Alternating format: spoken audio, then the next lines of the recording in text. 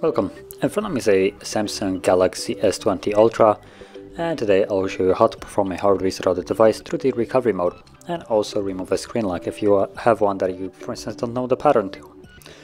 So let me just quickly lock the device so you can see that I do have a pattern and I'll progress from here as though I don't know it. So number one we will need to power off the device.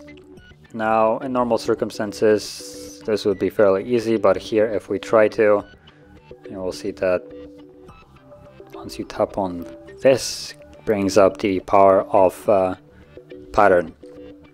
So what we want to do is forcefully shut it off by holding power key and volume down. And once you see the screen go off you will switch to holding power key and volume up. So you want to have the screen basically turned on so do that by going to pattern and immediately holding this so you can see when it shuts off.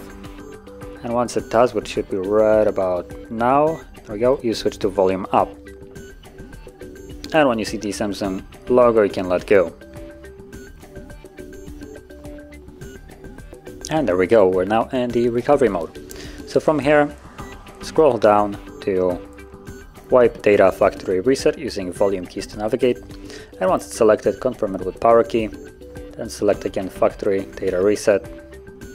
And the process will begin. It's a fairly quick one at this stage. As you can see data wipe complete and the reboot system now is selected by default so press power key once more and the process will now continue in the background.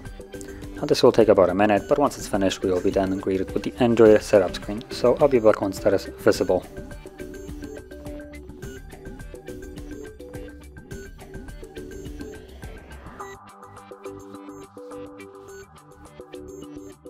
And as you can see now the process is finished and you can set up your device as however you like.